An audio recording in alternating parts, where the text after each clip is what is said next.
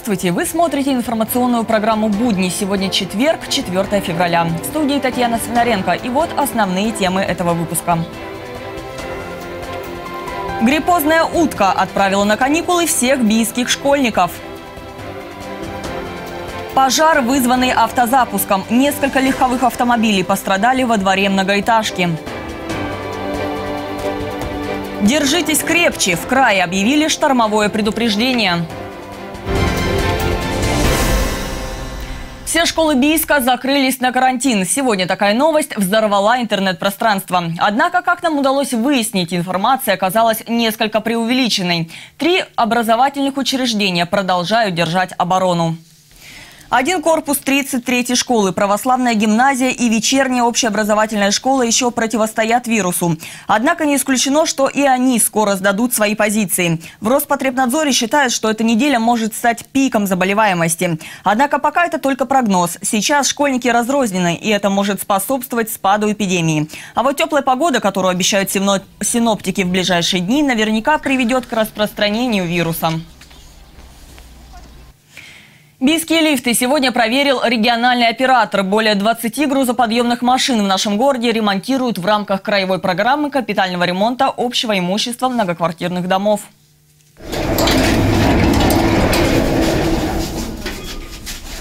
Бийск стал единственным городом края, в котором ведется не замена, а ремонт лифтов. Перед началом работ грузоподъемное оборудование обследовали краевые эксперты. Они порекомендовали провести ремонт. В ходе конкурса был определен подрядчик. За его работой на всех этапах следят собственники жилья и кураторы. Даже поступление оборудования фотографируется и строго контролируется. До завершения работ осталась ровно неделя. Принимать лифты будет специально созданная комиссия. В общей сложности ремонт обойдется в 26 миллионов рублей. Денежные средства – это деньги собственников, которые платят, э, платят за фонд капитального ремонта э, на, ну, то есть на счет регионального оператора, фонд капитального ремонта. Э, и, и расходуются они именно на ремонтные работы, то есть на кровли и в частности здесь в настоящее время на э, ремонт лифтового оборудования по городу Биску.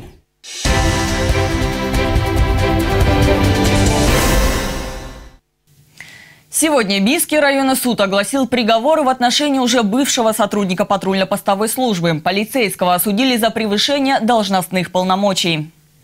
Он и еще двое сотрудников ППС летом прошлого года заставили бийских алкоголиков пойти на преступление. Как выяснилось в ходе следствия, такое распоряжение поступило от их непосредственного начальника. В отношении уже бывших работников патрульно-постовой службы возбудили уголовное дело по статье «Превышение должностных полномочий».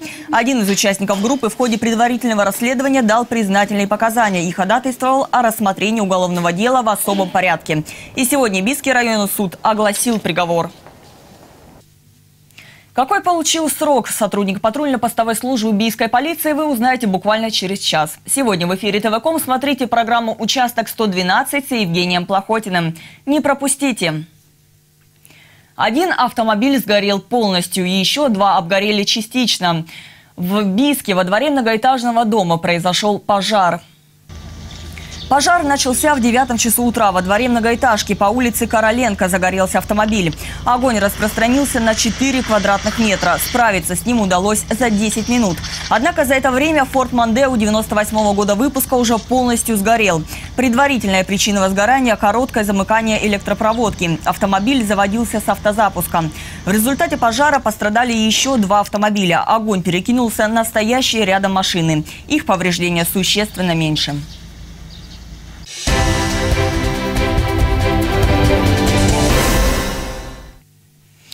Сегодня отмечают Всемирный день борьбы с раковыми заболеваниями. В 2016 году он проходит под девизом «Мы можем, я могу».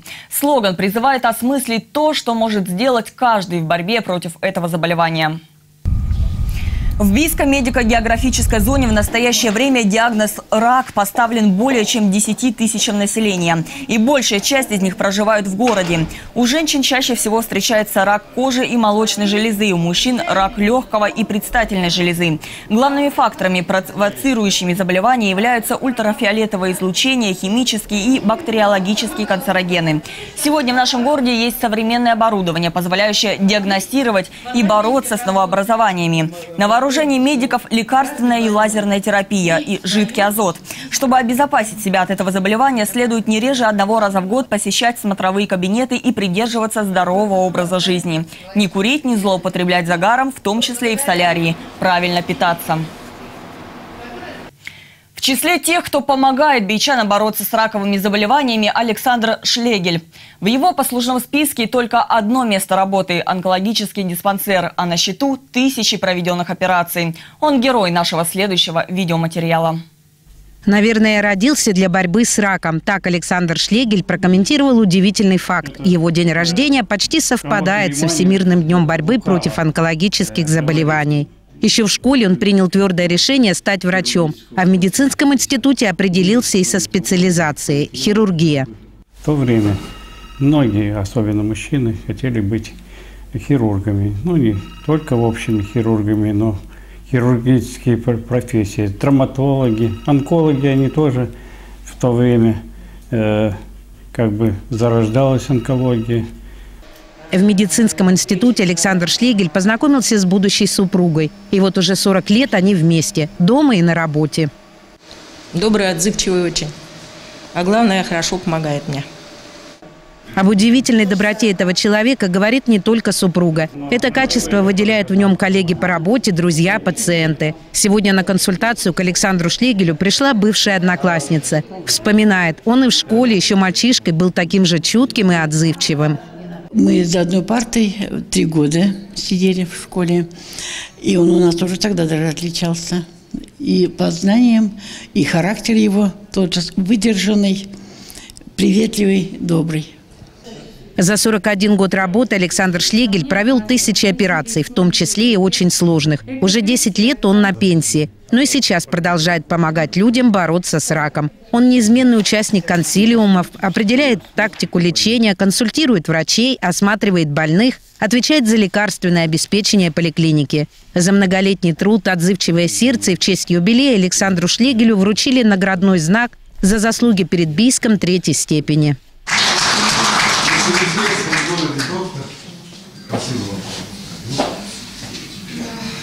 благодарны тысячи наших бичан. Самое главное, что есть у каждого человека, это за его здоровье. Поэтому огромное вам спасибо всех бичан, с наградой вас, с юбилейным хорошим днем рождения, здоровья, добра, благополучия. И пусть в вашей жизни все будет так по-доброму, как вы относитесь к людям с днем рождения.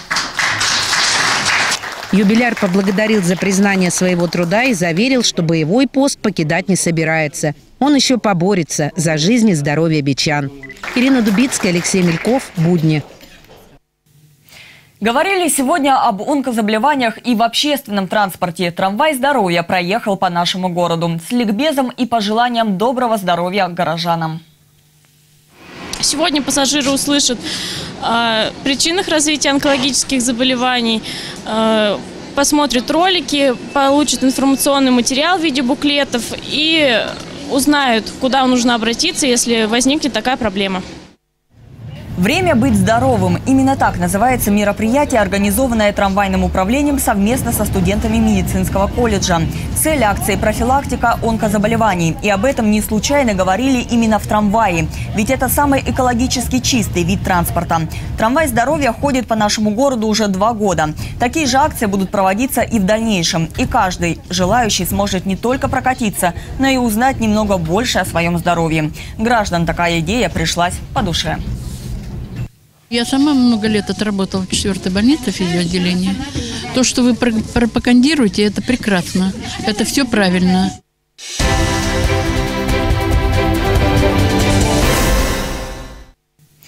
Сегодня городской совет ветеранов войны ценными подарками отметил особенных людей. Фронтовиков, которые в феврале отмечают юбилеи. Некоторым из них, между прочим, 90 и 95 лет.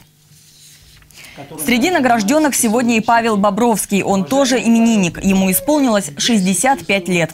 Участник войны в Афганистане, создатель Бийского музея воинов-интернационалистов. Он же многие годы возглавляет городской комитет ветеранов войны. И сегодня из рук своего коллеги, председателя Краевого комитета ветеранов, он получил золотые часы и книгу «Воинская слава Алтая». Ваша организация э, большую работу проводит прежде всего по нравственно-патриотическому воспитанию, подготовке молодежи к службе в вооруженных силах. И вот такой музей, который находится в городе Бийске, он один из немногих музеев в Алтайском крае, может быть, даже и в Российской Федерации. Настоящий мужчина 2016. Молодежный конкурс продолжается. На этот раз участники погрузились в армейские будни. За ходом военно-полевых сборов наблюдала Анастасия Исаева.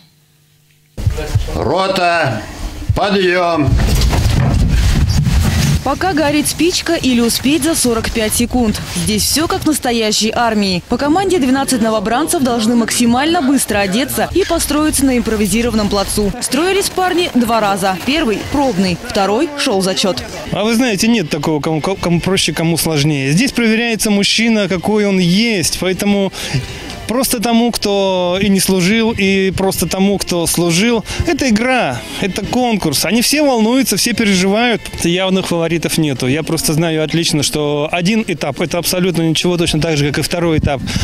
Потому что конкурсы все, мы попробуем за эти 9 конкурсов рассмотреть участников со всех сторон, показать мужчину и повара, и кулинара, и спортсмена, и джентльмена, и кавалера. Ну, кто из них, увидим 23-го. По уставу после подъема нужно заправить кровати. Парни со знанием дела подошли к процессу. Некоторые даже набили конты, взбили подушки. Олег Кан с легкостью справился с заданием. Молодой человек с этим сталкивается не впервые. За его спиной служба в армии. К тому же Олег – участник со стажем. В прошлом году ему не хватило всего нескольких баллов до победы. Этот год, конечно, я знаю на некоторых упражнениях плюсы и минусы. И на тех упражнениях, которые были в прошлый год, я просто это учту и буду улучшать эти результаты. Налево! Шагом! Марш! На плацу настоящие мужчины оттачивали навыки строевой подготовки. Затем состязались в скорости, сборки и разборки автомата. Завершился армейский день импровизированной войной, игрой в лазертаг. Ну, если человек э, развит, э, то, в принципе, сложности никакие не возникают, потому что каждый этап э, проходит с инструктажом, в первую очередь. И повторить, я думаю, любой здравомыслящий человек может себе позволить это. Тут работает преподавательская солидарность. Пускай будут ученики быть выше, чем преподаватель. В принципе, вот с этим настроем мы идем дальше. Два этапа позади. Следующее испытание – преодоление водных преград. Уже завтра, 5 февраля, в бассейне «Дельфин» настоящие мужчины выяснят, кто самый быстрый пловец и лучший подводник. Анастасия Исаева, Андрей Сигаев. Будни.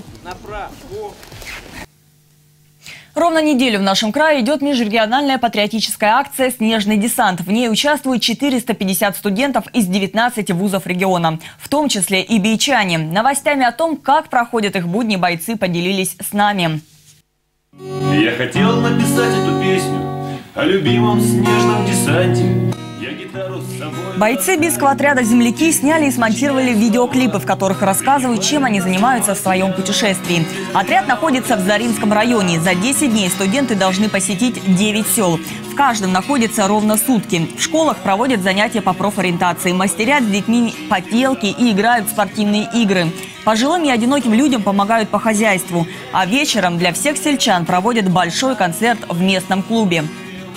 Вчера студенты были в селе Жуланиха. Туда к ним приезжали гости из краевого штаба студотрядов и депутата КЗС Татьяна Ильиченко, чтобы посмотреть на их работу и подбодрить на дальнейшие свершения. Путешествие бойцов закончится уже в это воскресенье. После обеда студенты вернутся в Бийск.